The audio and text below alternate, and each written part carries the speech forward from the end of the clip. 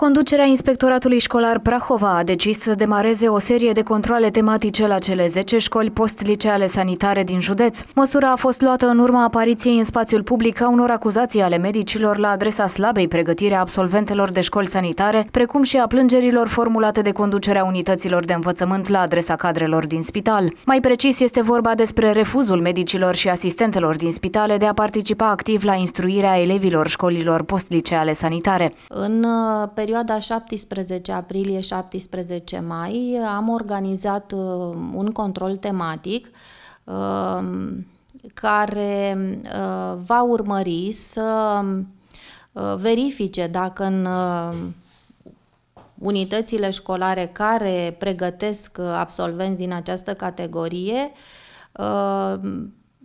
inspecțiile realizate la orele de practică Uh, la stagiile de instruire practică și la orele de curs uh, sunt urmate uh, de o analiză a ceea ce se face concret cu acești absolvenți.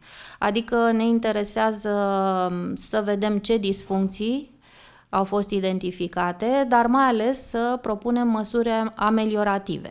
În perioada următoare se vor face demersuri pentru constituirea unor echipe mixte formate din reprezentanții ai școlilor sanitare și ai Ministerului Sănătății, susține Liliana Țenescu, inspectorul școlar general adjunct. Aceste echipe vor face controle inopinate la orele de instruire practică din spitale pentru a constata câtă substanță au aceste stagii dedicate cultivării unor abilități și competențe ale viitoarelor asistente medicale.